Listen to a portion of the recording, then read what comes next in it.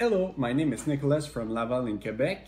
Today I'm reviewing the MasterChef Wine Fridge 36 bottle, which I've put it to the test by filling it with my favorite bottle of wine, microbrewery beer, cider, and every other beverage I like. I would recommend this wine cooler to my friend and family because there is a lot of room in it. It can contain 36 bottles of wine. In my unit, I have put big bottle of beer, wine bottle, even pop of beer and cider.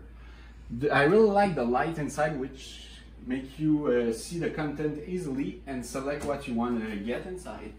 And the adjustable temperature setting at the back of the unit.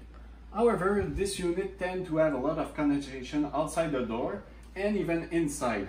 Uh, the condensation at the back inside tend to make ice even if the temperature setting is not set at the very minimum.